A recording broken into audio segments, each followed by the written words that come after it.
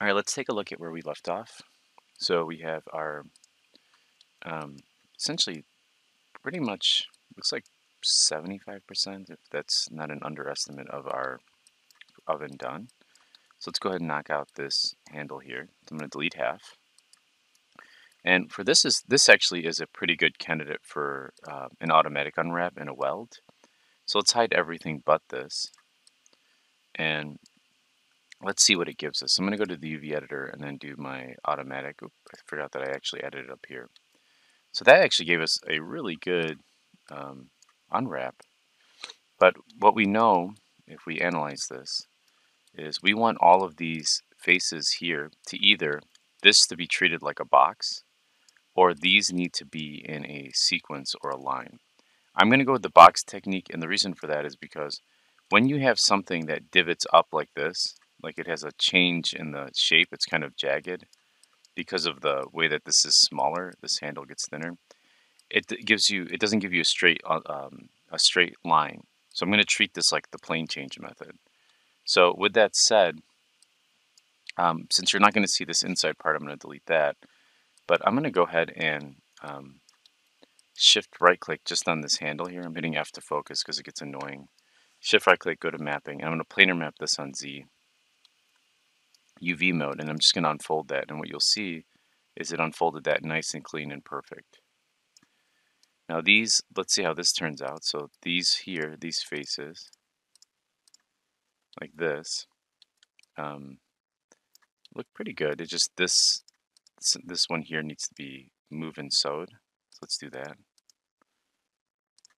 And let's go ahead and move this over. And I'm going to unfold that. Looks pretty good. So that's not too bad. So let's just sort of line this up a little bit here next to that. Um, this top piece really doesn't necessarily need to... Actually, you know what? Let's go ahead and unwrap. This is really a box here, now that I'm looking at it um, this is a box. And this could really be its own section, this inside here, these two pieces. So let's let's treat it like that because it, it actually kind of gave us what we were looking for. Do you see how it sort of already, it saw that it was unboxed and it put it together for us? So all we need to do is find, well, what's what's going on with this edge here? This edge here, there you go. And we can just move and sew these.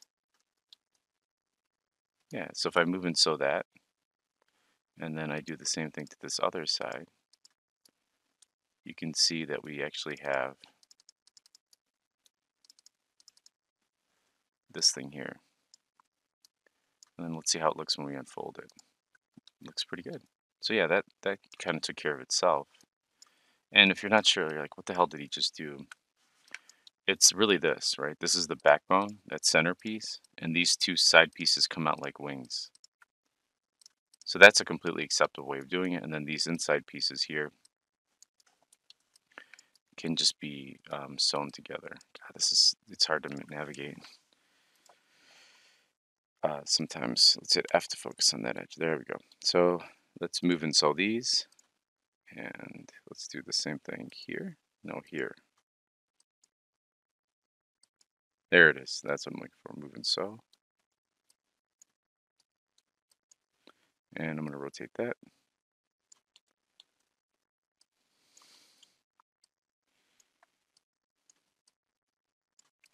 And there is our handle.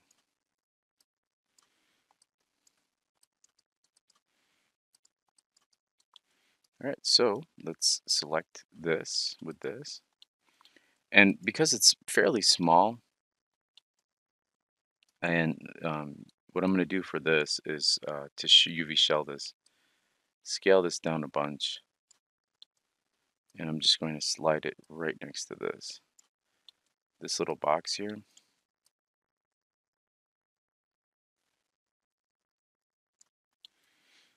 And for in respect to the texel density of this, which is really how big the texture size is, and I can surely do that with the grid. I want to make sure that, actually let's stack this here. It'll make this a lot tighter. Kind of take advantage of that little part there. And if we look at it, it's going to be off. Um, I know, but like I'm sort of looking at it living in between the world of a perfect world of unwrapping and trying to optimize this for a game engine. Which it's sort of like money versus, you know, and it doesn't look bad. I mean, these in here are too small, but I, if I'm not going to print anything and it's going to have a solid shader, it won't look too stretched. All right, let's finish. Let's see, we got this back piece here. Um, and the top of this fridge is going to be, um, or the top of this fridge, gosh, I just finished doing the fridge. The top and bottom of this oven is going to be deleted because they're covered. See that? So let's hide this. And what I might do is let's look at a new tool.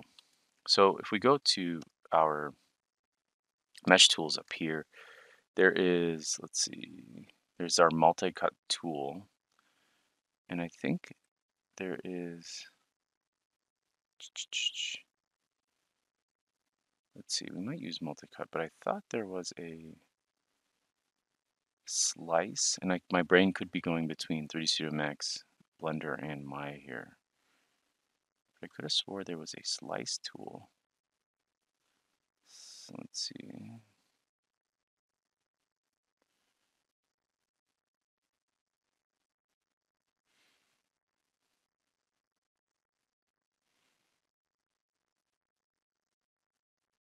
Hmm. I might have to compare with the Googles. All right, I am not going crazy. There was a slice tool, but it's a little different now. They've incorporated it into the multi-cut tool. So let's see, Mesh Tools, multi-cut. And what I can do here is click up here, go to my front view, make sure that that's sort of lined up. Um, actually, I don't think we even need to. Let's see. So if I click down here, you can see, maybe if we click here and then here, there we go. And then I hold my middle mouse. Yeah, that's right.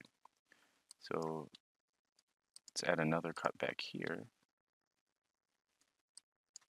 Let's go to our front view. Can I slide that around? Yeah, I guess I could slide these points. Let's slide all these points over. I'm clicking my middle wheel here, by the way, as I move all these points. wonder if I could select all that. And that doesn't really matter. And then I press enter. Yeah, look at that. Sliced it. And I'm going to go to face mode. Oops. Let's hit escape to get out of this. Or maybe go to object mode. Yeah, and then go to face mode. Let's delete. What is with? Oh, W to get out of it. Okay, let's delete half of this. Then I'm just going to go to vertex mode. Select all of these verts. And let's see what happened here. Wow, some ugly cutting there, but there we go.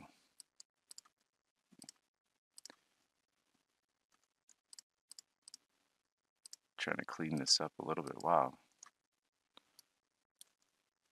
Let's actually do that. Let's do a better job of that. That is weird. Okay. Um, when I was moving those around with the middle mouse. All right, let's try that one more time. So, uh, mesh. Let's see. Multi-cut tool. Maybe if I click up here. Yeah, there we go. And then I click all the way down there. Hit enter. Look at that.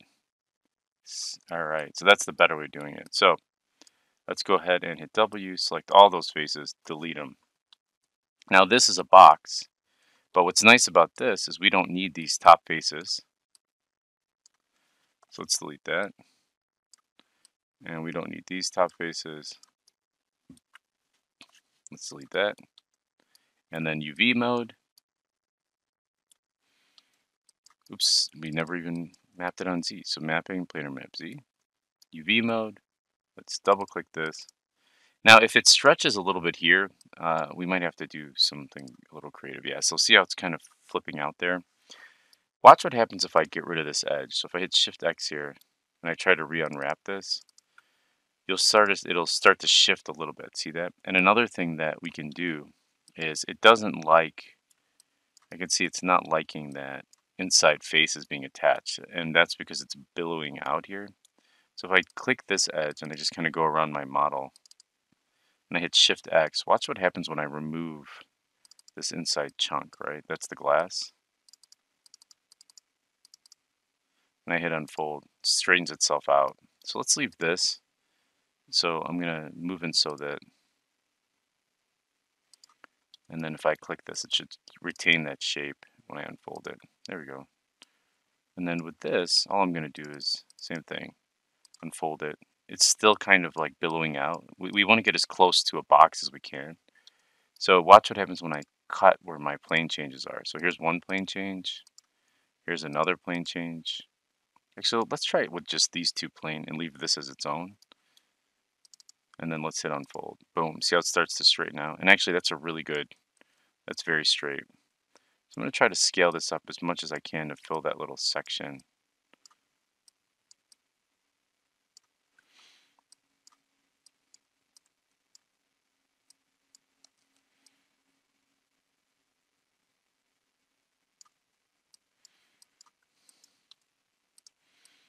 All right, so I've got this, I've got this. Let's go ahead and combine all those pieces. I'm really up to here at this point. In all honesty, here's another key area. This face, if it's not going to um, really be much different than this one, I'm just going to grab it, and just drop it on top of here. I'm being a little bit too um,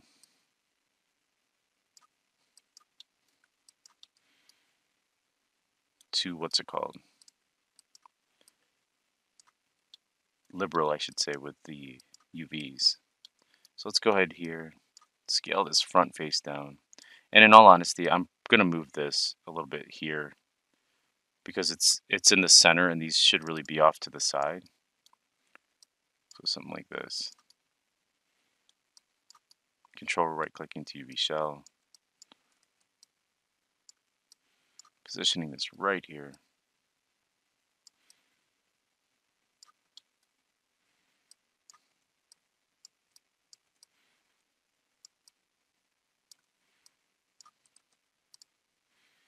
Scale that up a little bit, trying to really pack that in.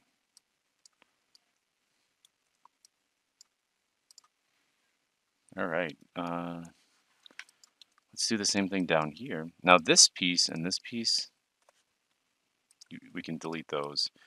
Now there, there really are just like, notice we have this piece on the top here. So what what's happening is you this is inserting here, so we're going to get some baked shadows in there. And so what we can do is just grab these two here, shift right click, duplicate face, go to object mode. I'm holding control to deselect anything but those two. I'll center pivot between them, just pull them down here. So grabbing that one, grabbing this one here, and I'll just scale them both in a little. hit F to focus. Just something like that. And then we have all of these unwrapped. So let's grab these two and this and this. Let's combine all of these. And let's do the same thing to this with our nifty new tool that we just remastered. So let's select here. Let's click here. Let's press enter. Let's go to face mode. Delete all these faces. And we're going to unwrap this the same way we did with the top of the oven.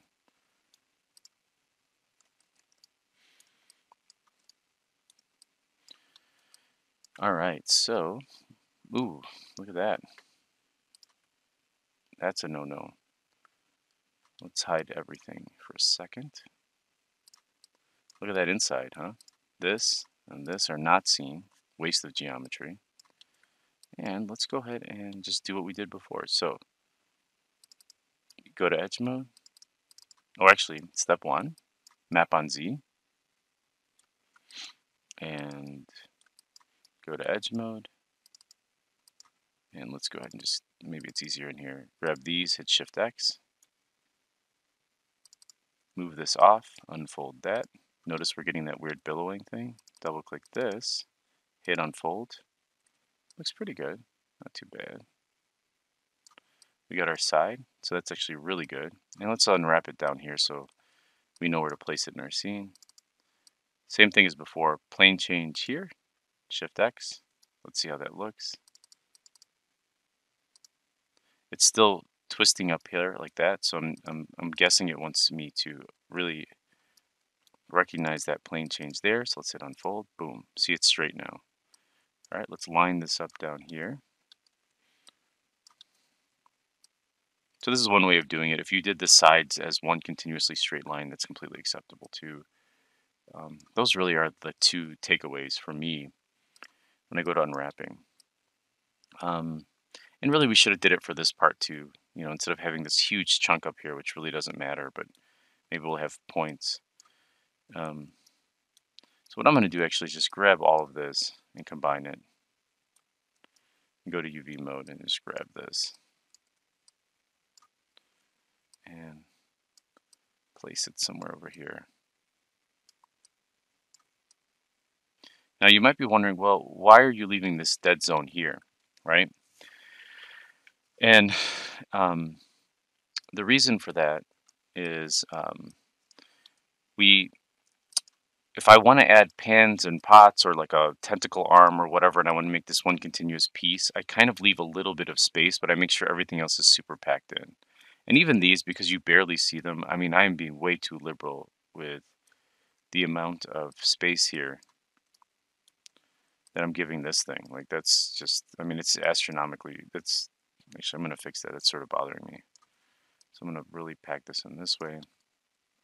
And anything on the front of the oven should have uh, more space, right? So like, for example, this side, you barely see it because it's going to be squished between cabinets. So it really doesn't need that much space. Same thing with this. Like, is it really that important? Are we going to have more knobs? I mean, maybe. I, I'll take these knobs and put them up there. Just Actually, I'm going to do that anyway. That, that's more visual interest now that I think about it.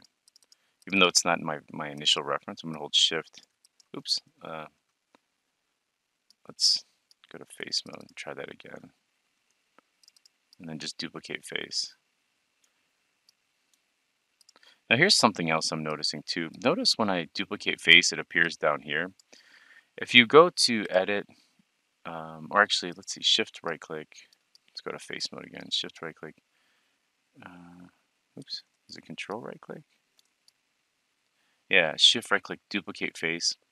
I really should have been from the beginning. Let's see if there's a setting. Um, hmm. I should have left that off, to be honest with you.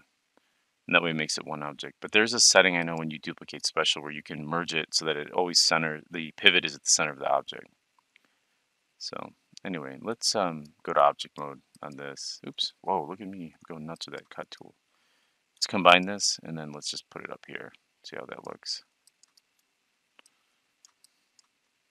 It looks pretty good. Know, maybe something like this. Maybe this is overkill, I don't know. Should Because on modern ovens, this would be a touchscreen.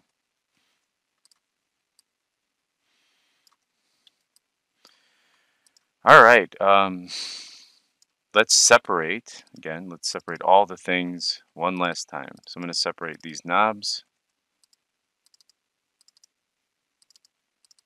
this handle, this, and I notice I'm not unwrapping the big chill because I'll probably just bake that on or paint it in. I don't think it's necessary to have that as geometry. I'm going to extract these faces. Notice that there's this and so with that said, I'm going to make sure my transform is frozen, and then I'm just going to shift this over here. So that way when I need to bring it back, I can just put it back on Translate Z. Actually, let's combine these to that guy.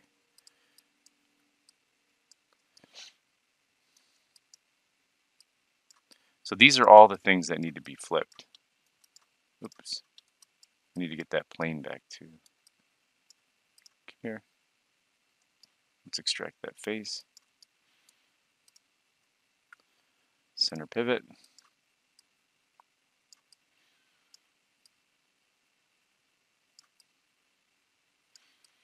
All right, so combine. And then I'm going to hit D to move this to the edge. Let's go to our front view.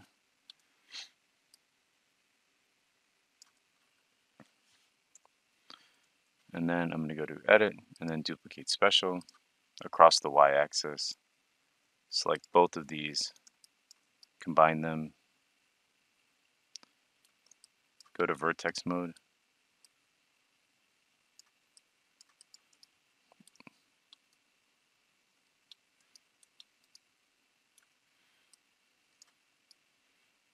Oh, what's going on here? Oh no, that looks good. It's just weird And then let's uh, merge vertices. Shift right click, merge, merge vertices. And then let's see what our options are. We just want to double check that we don't get any weirdness like that. See how that snapped?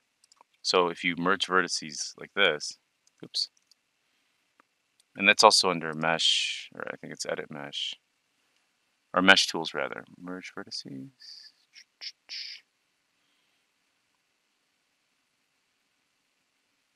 Here's average verts, chamfer.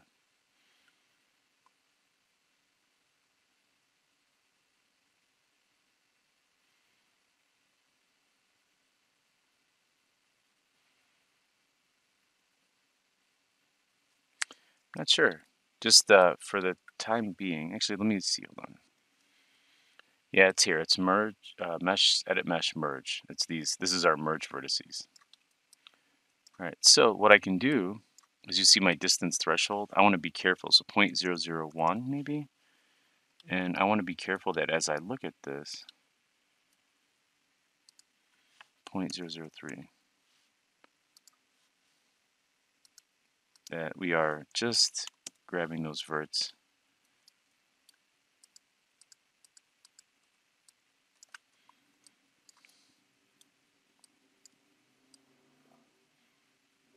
and looks like I forgot one, right? This piece here.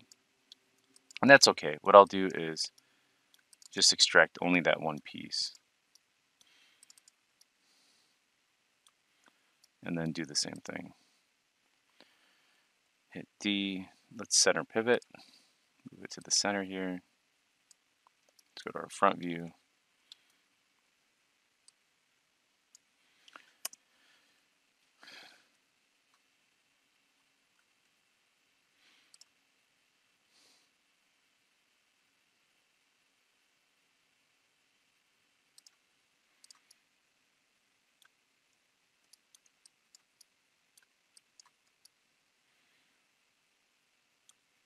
Same thing as before, just merging, but it looks pretty good. Like that's that threshold for something like this won't be too crazy. It's only when it's super detailed. And if I combine all of this, there is our oven. You know, some of this stuff kind of bothers me, like artistically, I kind of want to make this thinner so that it's not really overlapping that much. Maybe bring this whole front face down. But there's our oven, unwrapped.